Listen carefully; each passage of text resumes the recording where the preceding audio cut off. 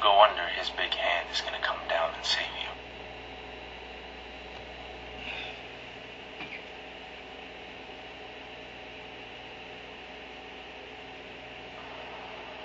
But here in life, the water's dark and there's no hand. You're all alone. So you better learn to swim. or you'll sink.